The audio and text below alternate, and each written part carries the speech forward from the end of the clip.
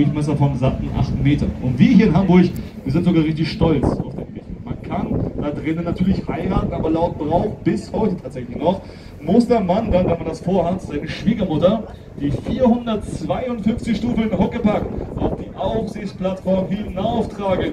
Und in Hamburg wird das ziemlich liebevoll einfach nur den Drachen steigen lassen genannt.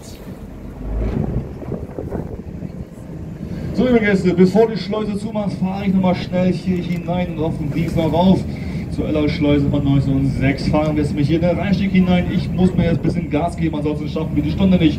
Und haben wir hier rechts, sag mal, versteht ihr mich noch, wenn ich ein bisschen Gas gebe?